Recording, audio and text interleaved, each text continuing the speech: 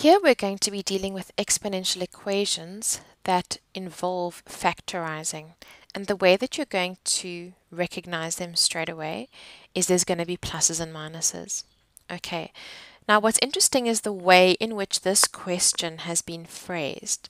The part that is an equation is the second part. It says show that this thing equals that thing. Okay, and remember that previously I told you that when it's a show that, that is very much not an equation.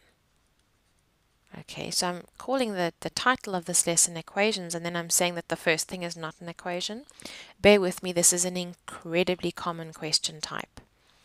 So first show that and hence, hence means use what you have just proven or acquired from the previous answer. Okay, it comes up quite a bit in quite a few topics. Then you need to solve. Okay, so here, this part is the equation. So what I'm basically being told is that the first part, the show that, should really help me with the second part, which is which is the equation.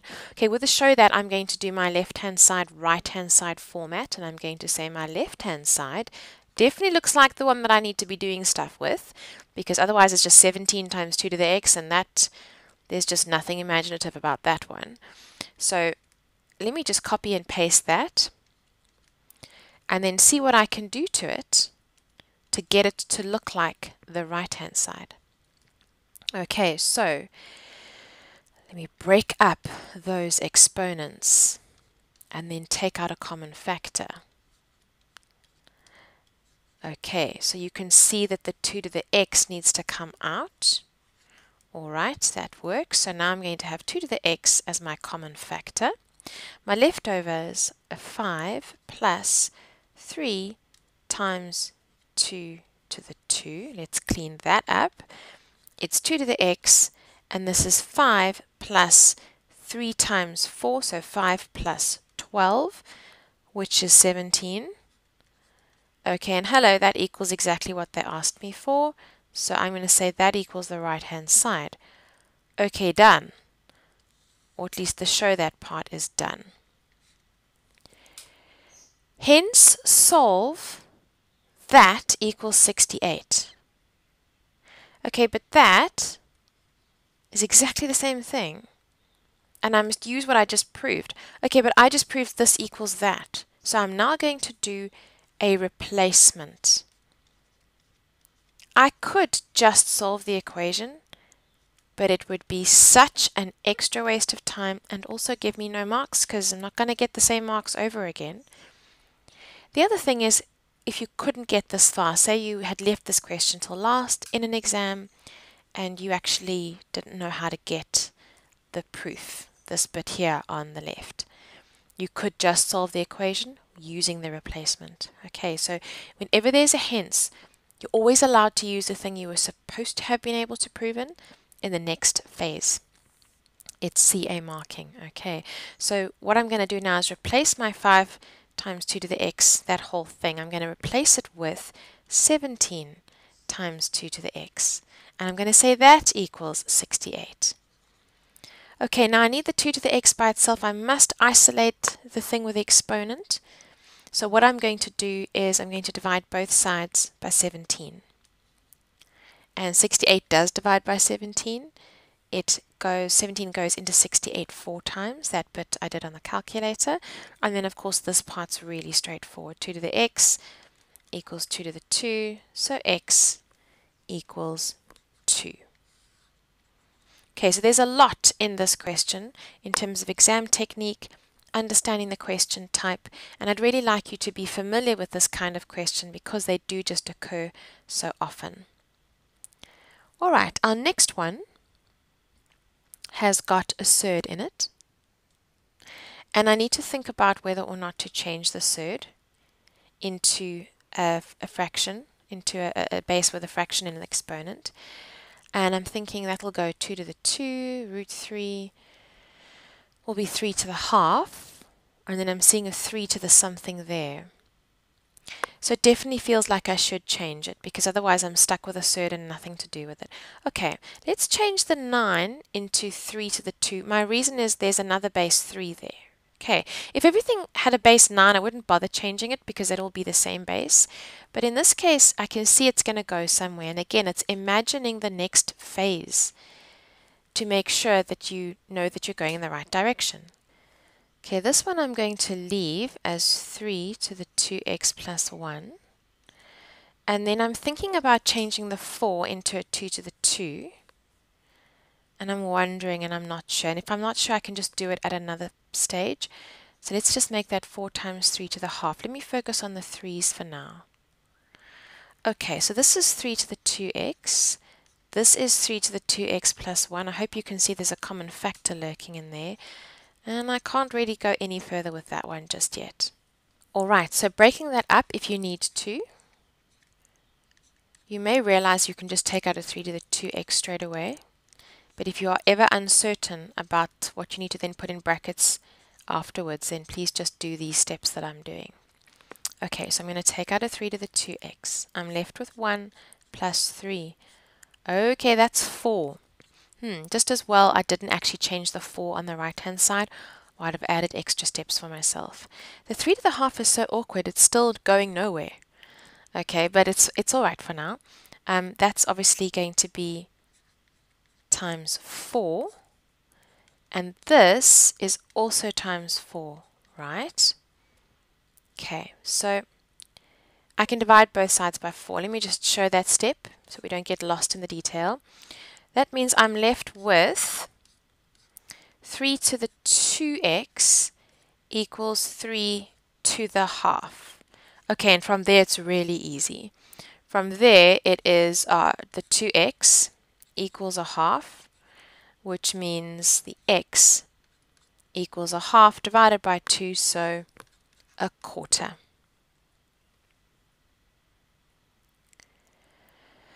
All right, this one is going to require you to recognize something that you've done really many, many times before, but now needs to be applied into an incredibly different context. So the first issue uh, that tells you you're going to have to do something that you've never done before is that this looks completely impossible, right? So you've got 3 to the 2x, then you've got 3 to the x, and you've got a 6 and a 27, and it just doesn't go anywhere. Like you can see, you can hopefully imagine that even if I make this 3 to the 3, I can't take out anything, there's no common factor. And what you need to recognize, this is going to be a quadratic equation.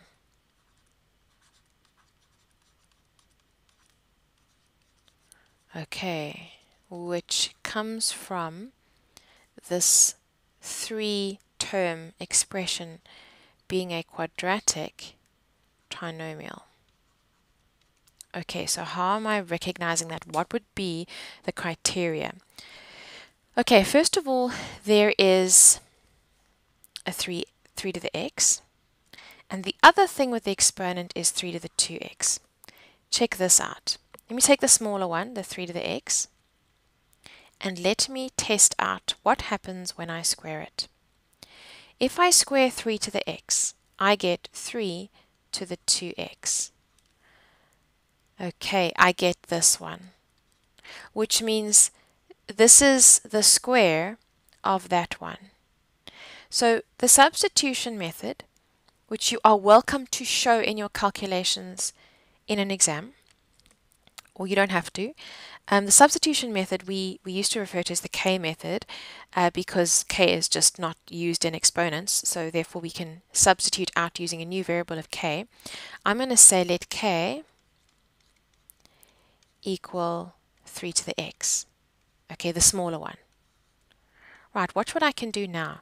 Now I can say, let me sub in k for everything that was 3 to the x over here. But we agreed that 3 to the 2x was just 3 to the x that got squared, right?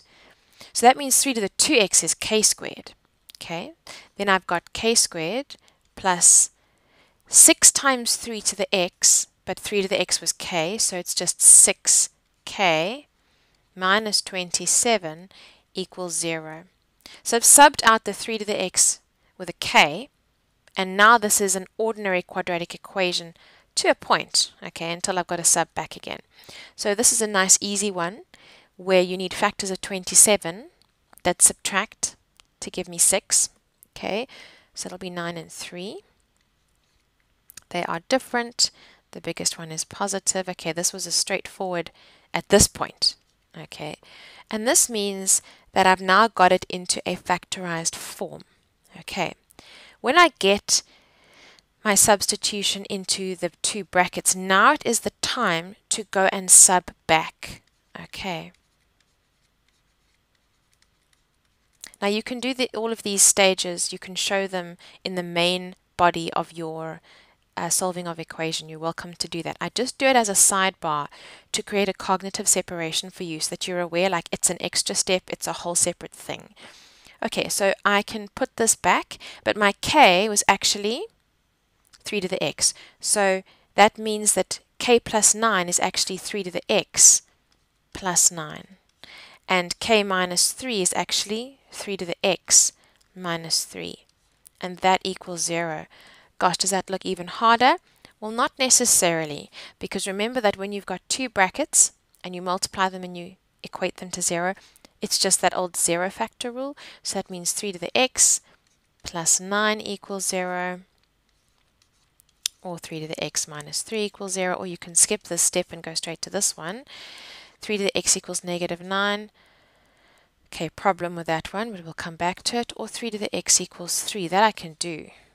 This I can do because that's just 3 to the 1, right? So x equals 1. Fantastic. What's the problem here? And we're going to deal with this later as well. 3 to the x can't be negative 9 because it doesn't matter what the power is. If this was a negative 1, it would be 3 to the negative 1, which would be 1 over 3. It would never give me a negative number. And this is something that you're going to now need to start recognizing as impossible. Okay, you can never have an exponent with a variable that gives you a negative answer. So you will always strike through this kind of answer because you need to recognize that it can't exist. Okay, so the principle here is a variable in the exponent cannot give you an answer that is negative. Okay, cannot give you an answer that is less than zero.